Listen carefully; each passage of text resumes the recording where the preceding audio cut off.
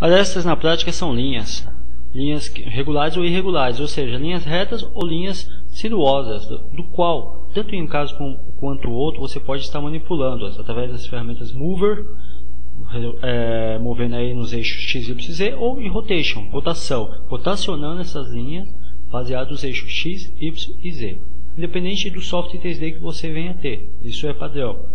Também as arestas são interligadas pelos vértices, que são pontos, eles são de nós. Através desses vértices você consegue estar aí mudando a direção e até a forma das arestas. Então, através do software 3D aí você consegue estar manipulando através da edição de nós, que é na realidade a edição de poder estar manipulando os vértices.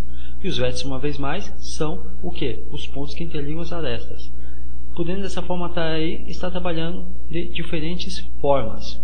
Vocês estão visualizando aí algumas modificações em cima de um modelo 3D com base nas arestas no software 3D Studio Max. O padrão de manipulação e edição de arestas é o mesmo independente do software que venha a ser. É de suma importância entender como funciona essas linhas que formam uma grade aramada.